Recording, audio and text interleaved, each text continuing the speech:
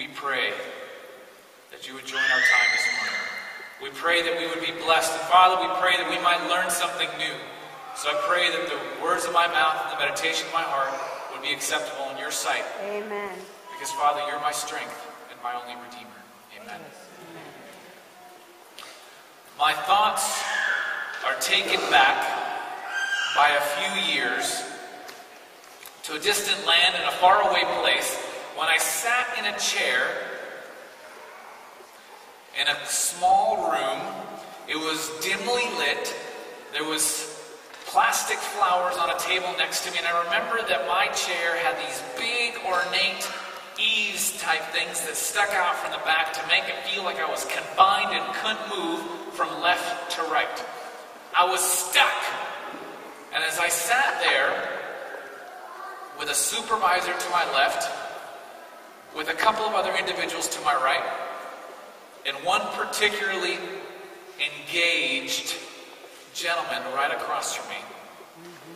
As he looked at me and he said, I have been president of companies, I have been directors of professional groups, I have been administrator of hospitals, and I have been involved with numerous churches in my lifetime. And never have I ever encountered a pastor so unskilled and incompetent as yourself.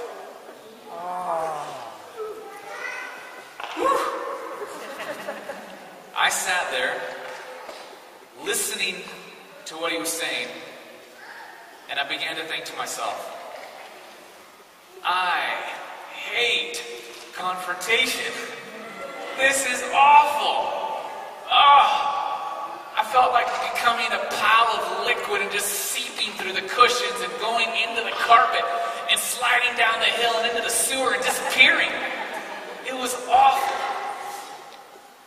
And that particular confrontation led to more confrontations, led to a variety, a whole process of reconciliation and, and mediation, and, and really a sense of, uh, of new confrontation in my life as a leader. And I began to think, man, is it possible? Could I hopefully, maybe as a dream, might I hope that I could go the rest of my life and never experience this again? Please, Lord. But you know what? It doesn't work that way. As Christians, we are called to a place where we have to engage with people with different perspectives. And while at that moment I didn't necessarily see where this man was coming from, and he, Lord knows, didn't see where I was coming from, we were completely different people with different perspectives. And as long as we serve on this earth with people, and as long as we serve with other people with different opinions and different perspectives, we will always be dealt with confrontation. We will always have to deal. We will always have to deal with differences of opinion. And so the question is, as we as Christians, we've been taught to make things better. We've been taught to just, you know, make things go away and just pretend that everything's okay. How do we as Christians deal with confrontation? Well, as we've been studying through the book of Galatians, a book that deals a lot with what God's grace has meant for our lives, we suddenly come to this passage where Paul takes a break and gives us an example of confrontation. And that's why our sermon title today is Confronting Holy People. How do we as a church confront those around us that are also Christians, but yet we see completely different points of view? We see completely at odds on a particular issue. So turn with me to Galatians chapter 2 as we spend a couple of short moments this morning learning some lessons about confrontation in our lives. Galatians chapter 2.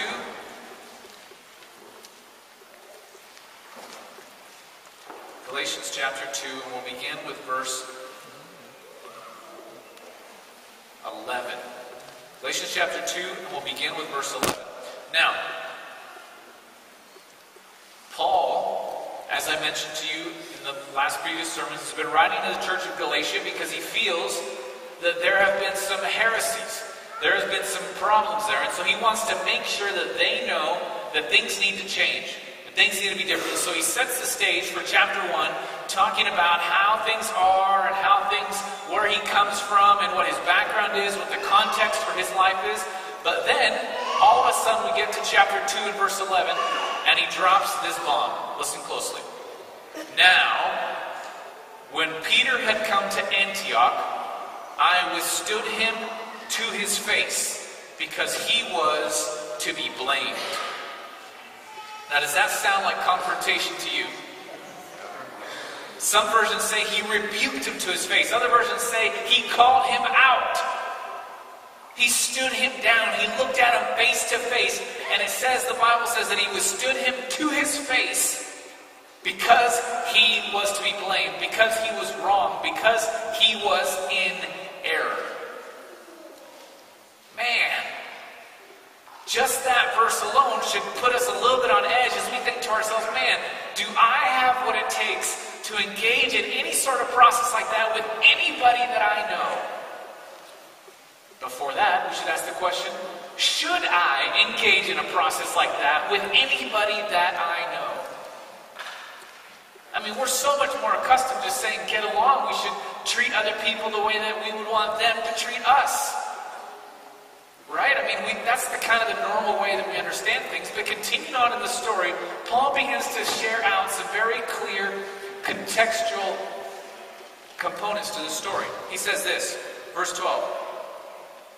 For, this is the reason, this is the reason that I had to talk to him like this. This is the reason I had to call him out. It says, For, before certain came from James, he would eat with the Gentiles, but when they came, he withdrew and separated himself fearing those who were of the circumcision. You see, back in olden times, Peter had been this guy that would not eat with Gentiles. He was under the assumption that a good Christian, a new believer of Jesus, would not associate themselves with people that were of pagan origin. And so he said to himself, you know what? The Bible makes it pretty clear that we should be separate. So people that do not believe the same way that I do, I'm not going to spend any time with them. Gentiles that aren't Christians, I'm not going to spend any time with them. I'm not going to give them the time of day. I'm not going to do anything for them. Well, then, Peter had a vision. Do you remember this vision? Peter had a vision where he, he's lying on top of a building and he falls asleep. And in that sleep, he sees in his night's eye, he sees in his night's eye this sheet being lowered down from the heavens. And Peter's kind of groggy and he's kind of, you know, he's kind of out of it. He's not really seeing a whole lot and, and he's not really understanding what's happening. But slowly the sheet gets lowered down from heaven and he looks on it and there's all sorts of craziness on it. There's snakes and there's all sorts of unclean animals and, and weird reptiles and all sorts of, of animals that he has been expressly told not to eat. And then he hears a voice Peter, eat. And he says, Man, who's telling me to eat? Because this is obviously not something I should eat. But then he hears the voice again Peter, eat. And he says, Why should I be eating this? And, and then all of a sudden, the explains, It is no longer unclean.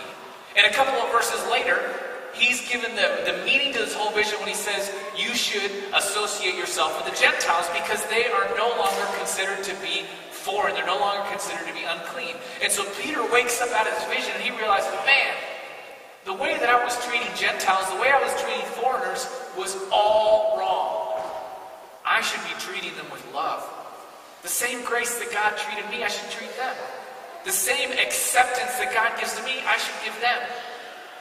The same invitation that God gives me to associate with Him, I should invite my Gentile neighbors to associate with. Me. So Peter's perspective was totally changed. And so before, when he wouldn't associate with Gentiles, now all of a sudden he would associate with Gentiles and he would spend time with them. But the Bible says that things began to change. It says here in verse 12, see, before he would eat with the Gentiles, but when they came, these people from James, we don't have a whole lot more explanation, certain men from James, but after that they came, he withdrew and he separated himself fearing those who were of the circumcision.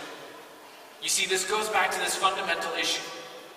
This fundamental issue that these people were trying to explain to others, saying, you know what, you must be circumcised to be a part of us, or if you're not, you're not a part of us. And you must be this way to be a part of us, or you, if you're not, you can't be a part of us. You must look this way in order to be a part of us, because you don't, you can't be a part of us. And the same thing was beginning to happen this way. They said, you know what, if you're a Gentile and if you're not of Jewish lineage, then you can't be a part of us. And they began to set up all these different criteria. And while this is a different kind of criteria than what they've had in the past, it's the same basic issue. The church leaders at that time felt you're either like us and you can hang out with us, or you're not like us and you can't be with us. And we've talked about what kind of fundamental flaw that is in the church and how we should be upright and aggressive about rooting that out anytime we see that kind of philosophy. And Paul does that in this story. And Paul engages something with Peter. As we see in the next couple of verses, Paul takes a stand and he does this. Verse 13, it says, Because the rest of the Jews also played the hypocrite with him, so that even Barnabas was carried away with this hypocrisy. Paul writing, But when I saw that they were not straightforward about the truth of the gospel, I said to Peter before them all, If you, being a Jew, live in the manner of Gentiles and not as the Jews, why do you compel Gentiles to live as Jews? We who are Jews by nature and not sinners of the Gentiles, knowing that a man is not justified by works, but of the law, but by faith in Jesus Christ.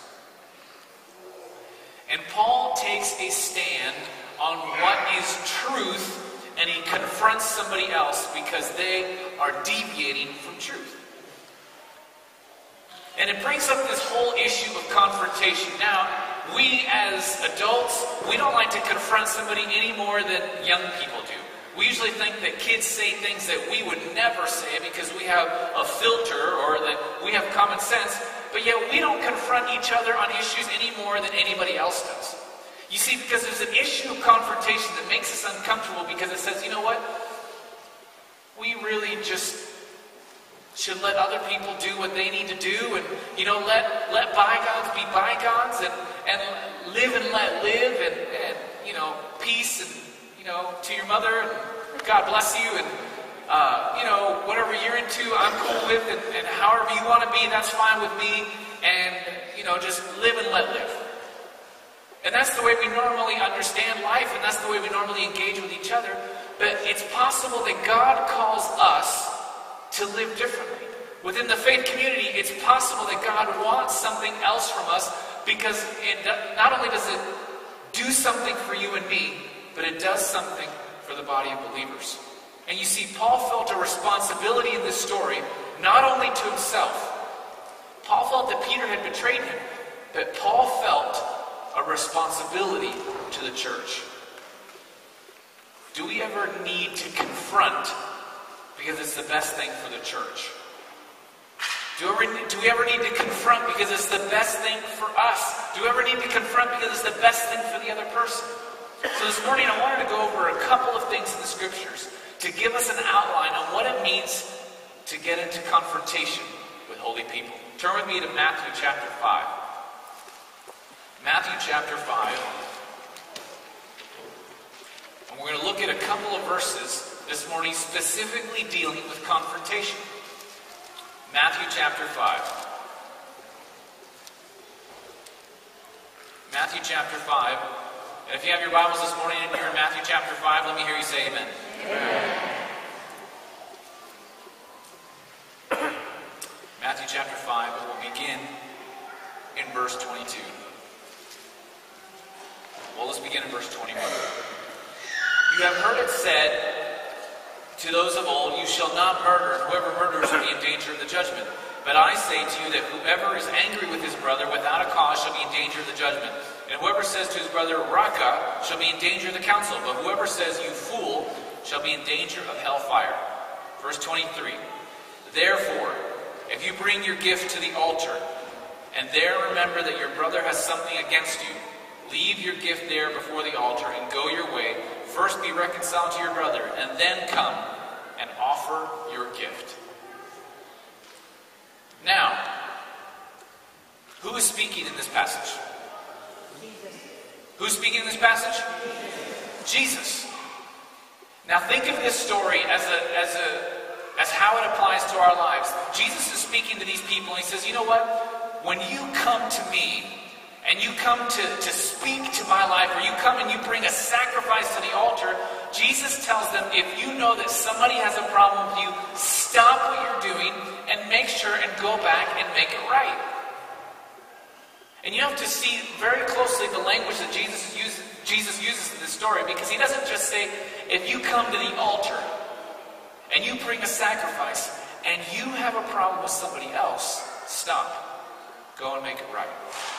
No, Jesus takes it to the next level. He says, if you come to the altar and you know that somebody else has a problem with you, stop.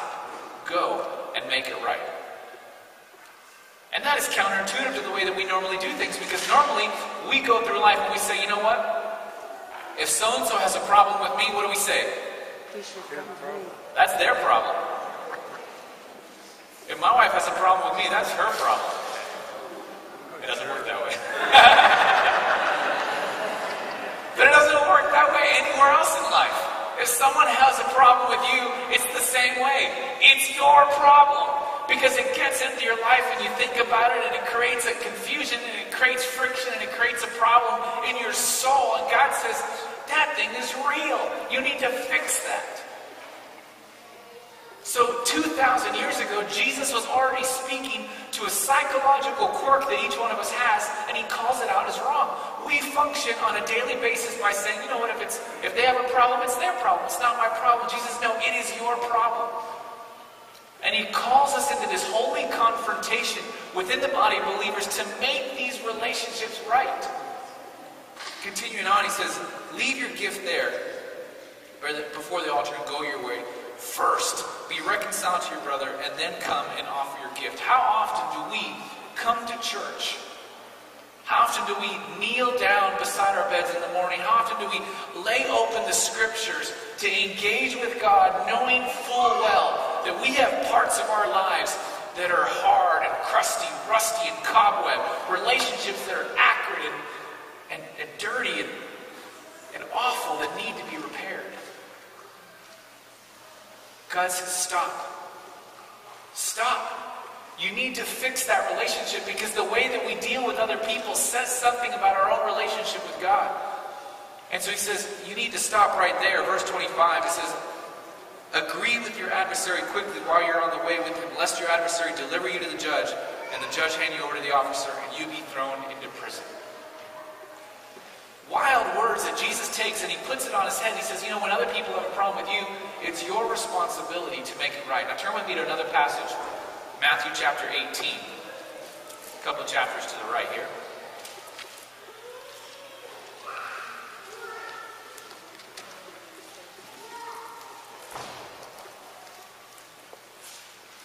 Matthew chapter 18. And he begins in verse, verse 15. It says, Moreover, if your brother sins against you, go and tell him his fault between you and him alone. If he hears you, you have gained your brother. But if he will not hear, take with you one, one or two more, that by the mouth of two or three witnesses every word may be established. And again, Jesus gives the same theme that if somebody sins against you, go to them, share with them what the problem is, and seek to find reconciliation. That kind of confrontation makes us uncomfortable. In fact, that whole method, that whole procedure, seems to be opposite of the way that we normally function. If someone does something to you, it's your responsibility to go and do something for them. But see, Jesus was trying to get us to understand something that the responsibility of reconciliation always begins with those that are aware of the problem. The responsibility of reconciliation always begins with those that are aware of the problem. Therefore, if you and I are aware of the problem, then you and I have a responsibility to see that relationship restored to healthiness.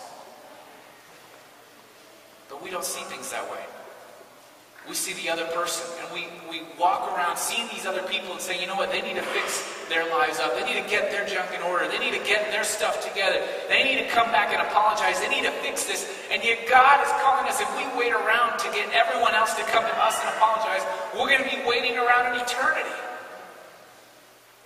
It's the same idea when he says, you know, eye for an eye and a tooth for a tooth. As it's been said before too long, the whole world will be blind. We can't wait for that to happen. Holy confrontation, what Paul is talking about is that when we're aware of a problem, and when we stand on truth, that it is our responsibility to go to somebody else and seek to repair that relationship. Again, the responsibility of reconciliation always begins with those that are aware of the problem. This morning, I wanted to share with you something that I have been uh, that I've been very deeply blessed with for the last several years. A couple of years ago, I was a part of a of a study group that uh, that began to study through what it means to confront people in a healthy way. And so we began to read this book called Fierce Conversations. Now, a couple friends of mine over here have some handouts. I want you guys to see if you can get a copy of this handout to everyone here in the church. So start handing this out, and we're going to go through this handout together. I'm going to need one as well. We're going to go through it together. Now, what this handout is, is a model for confrontation. Thank you, dear. A model for confrontation.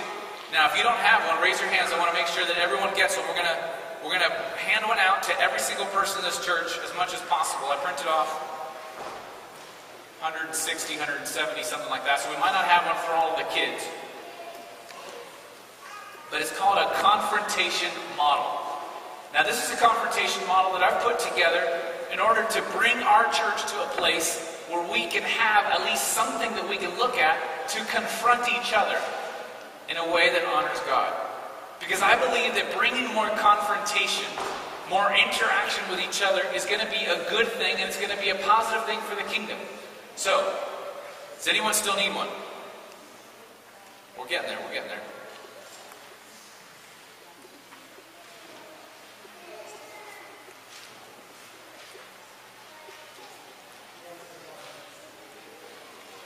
So Paul figures out that there's a problem.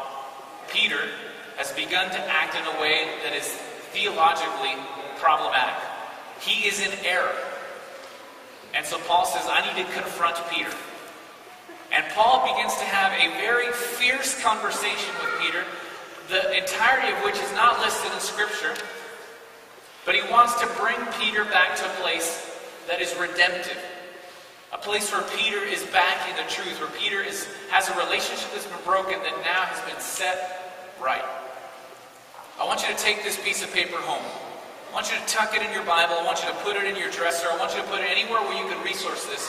And you can look at this in the future and use this to repair relationships. I want to go through it with you really quickly. As I said, this is adapted from Susan Scott's books, Fierce Conversation. It's in my library. It should be in yours if you deal with teams or you deal with organizations. Number one, if someone has a problem with you, if you see something in their life that's a problem, if you see any situation that needs confronting, number one, pray about the issue and clarify to yourself why is it important.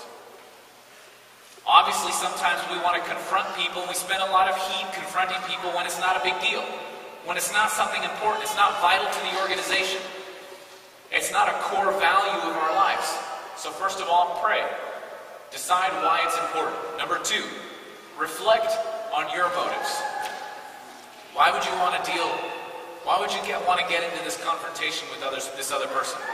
Spend time praying for God to give you a supernatural love for the other person. You see, oftentimes we don't feel love to those other people that we need to, that we want to confront we don't feel any sort of compassion towards them. We actually feel kind of like an animosity. We need God's love in our hearts. And so, second of all, pray for God to give you a supernatural love. Pray for a redemptive view, view of the person. Number three, I want to encourage you to write down a personal statement, a personal opening lines that you're going to use in this. So, write an opening statement and practice it out loud. Make it no more than 60 to 90 seconds. Something like, I have to begin by bringing something up that might be uncomfortable for both of us. My goal is to ultimately help us or the organization by bringing this issue up. Please let me share an opening statement that takes about a minute, and then you're more than welcome to respond. This is what the opening statement looks like. So, number four, first name the issue. Describe the heart issue in one succinct sentence or two.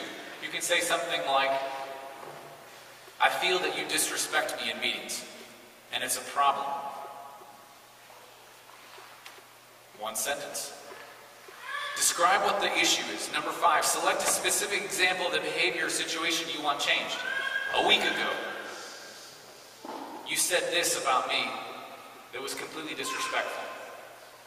You give an example of, of what you would see as an example of that behavior, an example of that problem. Number six, describe your emotions about this issue. And when you did that, it made me feel this way. And when you do that periodically, it makes me, these kind of feelings come up in me. And this is how I feel when that happens. Number seven, clarify what's at stake.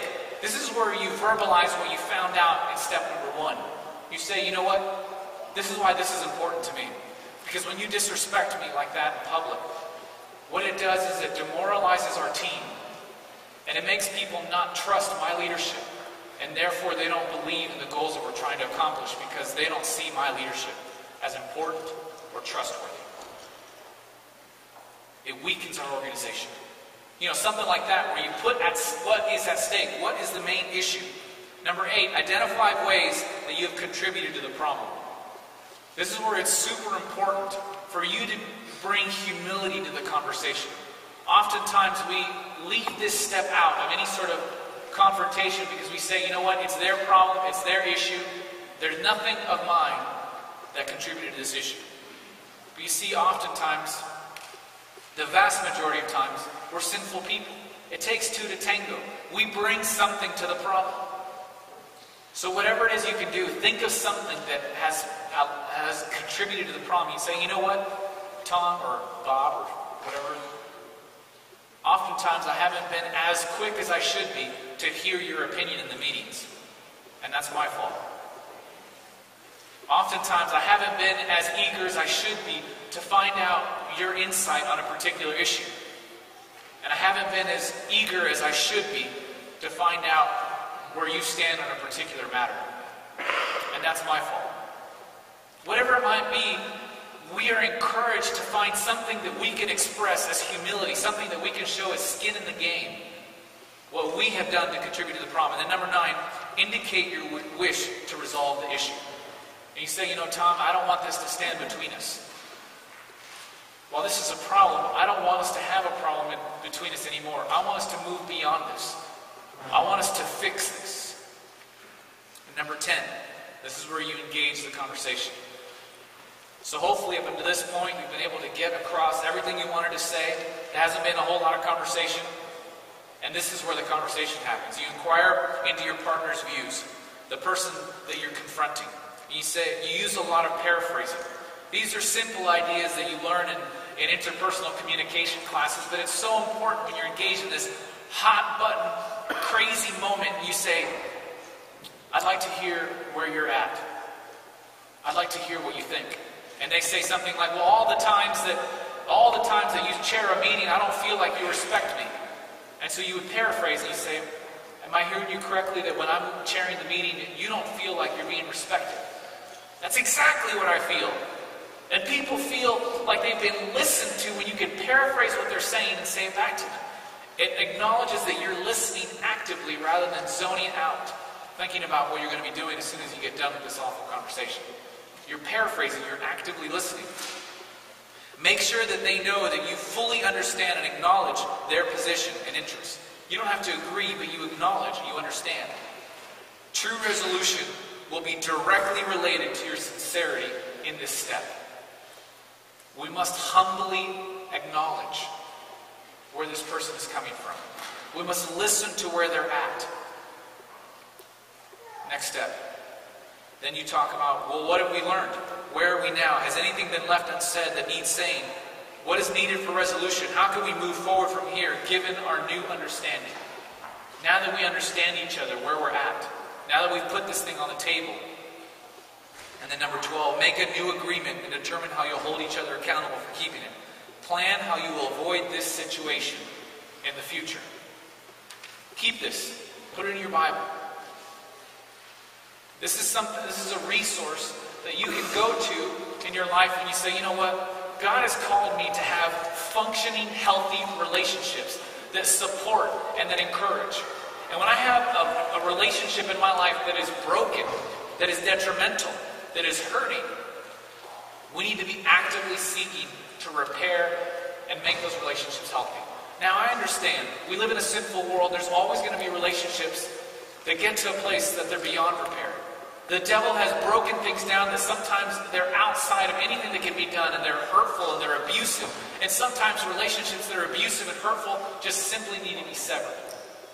But I would I would encourage you to look at relationships from a perspective that says, you know what? There are way more relationships that can be saved than should be lost. We have lost way too many relationships out of neglect and out of a a fear of confrontation that could have been, could have been saved if we would have simply, through a biblical process, gone to them and said, I want to repair this. And we followed the words of Jesus and said, you know what? I need to go to a brother. I need to, I need to make sure and not, not go to church again, not get down on my knees again until I've done something, whether it's a prayer, whether it's a letter, whether it's something, to seek to repair these relationships that I know that are broken in my life. That was what Jesus said, not me. He says, Leave your sacrifice at the altar and go home and seek to repair this relationship before you come back. Those are harsh words. And while I would say I'm not really sure what, what, what all of that implications are for us, I do get from that that Jesus was serious about us bringing holy, compassionate, gracious confrontation into our lives. Amen. He wants us to seek to redeem other people that have left. In fact, along those same lines, this is what the Bible says. In James chapter 5, verse 16, it says, Therefore confess your sins one to another and pray for one another that you might be healed, because the prayer of a righteous person has great power as it is working. When we engage with one another, when we talk to one another, when we become vulnerable with one another, it has a tangible and direct effect on our relationship to prayer the church. The Bible says confess your sins to one another because it makes it has an effect on your prayer life. It has an effect on your spirituality. And it says something to the greater body of, of, the, of the church, the greater humanity on this earth that look at us and see how we act. How many of you have seen this verse here in John chapter 13? John chapter 13, this is what the Bible says. Jesus speaking about his disciples says this By this will all men know that you are my disciples, if you have love for one another. It doesn't say that they're going to know us by what day of the week we worship on. It doesn't say they'll know us by what we eat. It doesn't say they're going to know us about what our theology is. It says that they're going to know that we are disciples of Jesus Christ based on how we treat one another. And when we as individuals lead life and go throughout time leaving a broken, strewn stream of carnage behind us of broken relationships, that says something about our view of God. When we go through life, one broken relationship after another, one painful, broken friendship after another, that says something about where we're at with God.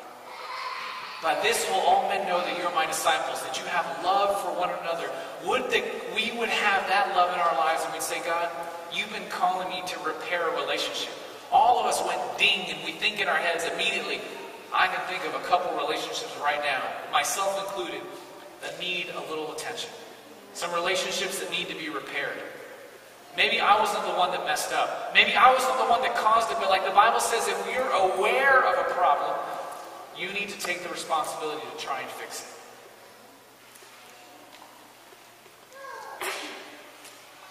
A couple of years ago in another land, in another faraway place, there was a young lady in a similar situation in this story that was attending my church, and she began to espouse that the way that we had always understood salvation was wrong. And she began to say that, you know what, we have to do these other things to be saved. And you know what, the way that we understand salvation by grace, that's a problem. And that's not really the way that we really should understand it. And slowly she began to come up with all this whole new theology, and she was being influenced by these other people. And it came to the place that she was coming to our church and handing out pamphlets in the lobby talking about how what the Adventist church was doing was wrong, and what the Adventist church was doing was Babylon. She began sharing this stuff throughout my church, her and a couple of other people. And what I wanted to do was put my hands over my face and say, if I can't see it, it doesn't exist. But they began to hand out pamphlets to new believers and to new converts and people that didn't have any sort of biblical foundation. They began to read this stuff and say, What? And so I felt like I had to confront this, this lady. And so I remember sitting in my office talking to my senior pastor as he said that he had to go out of town, and so if I'd please take care of this confrontation for him. and I remember driving to her house and sitting on her porch and saying, Sister, I love you. We care for you at our church, and we did. She was an important part of our church.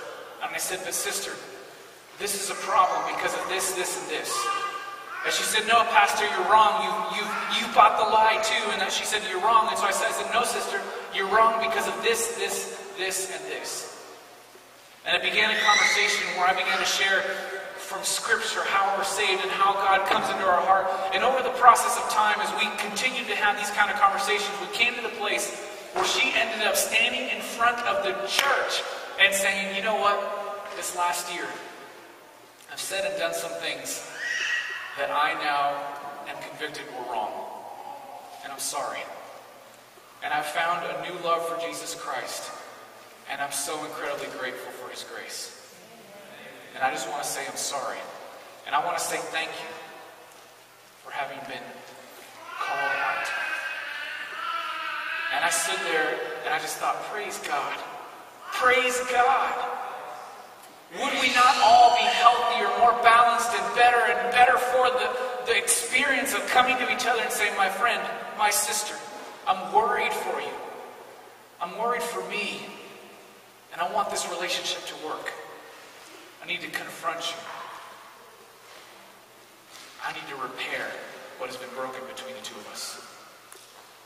And so Paul finishes his story. Peter's brought back in. Everything is better. The church of Galatia is blessed the, the body of Christ grows, thousands are added to the church day by day, and it never would have happened if Paul had not taken the courage to seek to repair a relationship. What relationships do you need to repair this week? What relationships do you need to write names down on the back of the sheet this week during your prayer time and say, you know what? I need to engage with a holy confrontation. I need to fix something that's gotten broken. God will be involved with that process. God wants to see relationships repaired. Let's bow our heads for prayer.